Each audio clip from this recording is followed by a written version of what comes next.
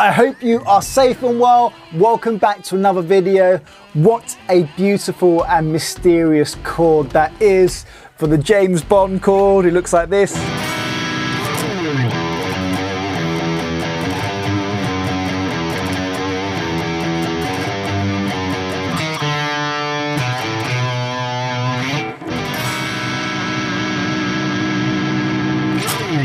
Of course, there's a brand new James Bond film out called No Time to Die. I'm a massive James Bond fan. I think Daniel Craig is one of the best. My favourite, of course, is Sean Connery. Well, I say, of course, Roger Moore was awesome. To be honest, they were all pretty good. But it got me thinking about the classic James Bond chord and what scales would sound awesome over it. There's actually two scales that work very well over them. But first of all, let's analyze the chord and find out what it is, and then we'll move on from there.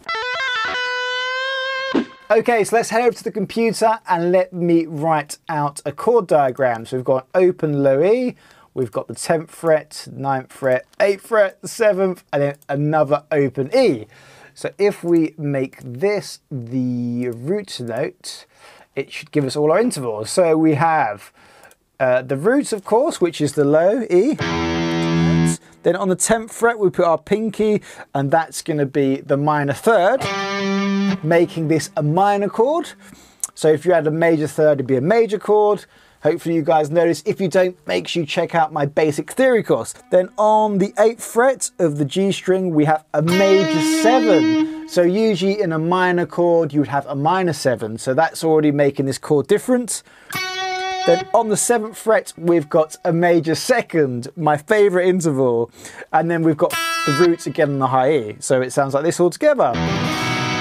So root, minor third, perfect fifth, major 7, major second, and then a root. So what this chord is essentially is a minor major 9 chord. It has a name, it's not just a James Bond chord. It's quite funny with a lot of famous chords that we know.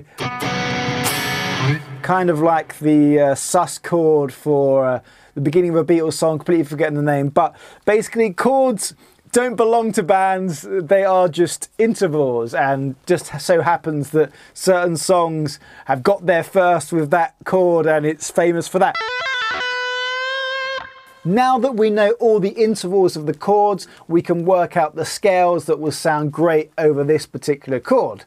So, because we have a major 7, we can rule out natural minor because that has uh, a minor 7, not a natural 7. Uh, next up, we've got melodic minor and harmonic minor. Now, these are perfect scales. So with harmonic minor, which is what I used at the beginning of this video, we have a root, we have a major second, which is in the chord, we have a minor third, also in the chord, we've got a perfect fourth, not in the chord, but it's still a new chord tone to be added, a perfect fifth, which of course is in the chord, and then we've got uh, a minor sixth, which is in not in the chord, but it's adding some value. And then we've got a major seven. Now that's that big gap that's creating that really cool harmonic minor sound. And on one string, so you can see that big interval gap. So there's those three frets there.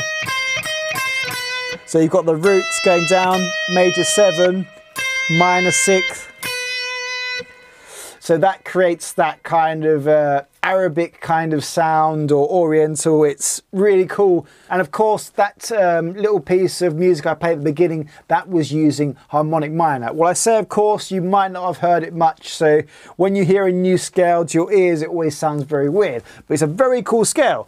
So harmonic minor works over the 007 chord. That's the first thing we know. Now, there is one more minor scale we're going to talk about, which is melodic minor. So if we look at the uh, scale formula for this, we have a root, we have a major second, once again, that's part of the chord, minor third, part of the chord, we have a major, uh, perfect fourth, sorry, not part of the chord, but once again, that's not going to affect anything. Perfect fifth, which is part of the chord.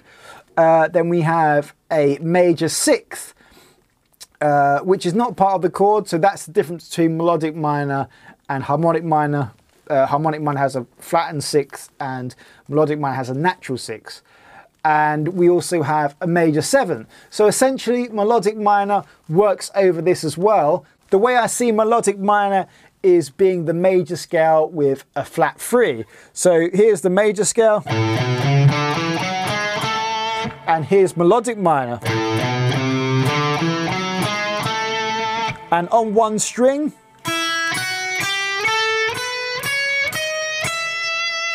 I absolutely love the sound of that. We've got our two scales that work perfectly over the James Bond chord. Um, yeah, I don't know what the point of this video was other than to write a really cool lick around that chord. So if you want the tabs for the lick at the beginning of this video, they are in the description. You just uh, go to the link, sign up with your email, and then you get sent the tabs. Um, let me know if you enjoyed this video. Give it a thumbs up, a like, leave a comment. I'm really enjoying being back and making videos for you guys. See you guys soon. Take care. Oh, I feel it now. I can't make you smile.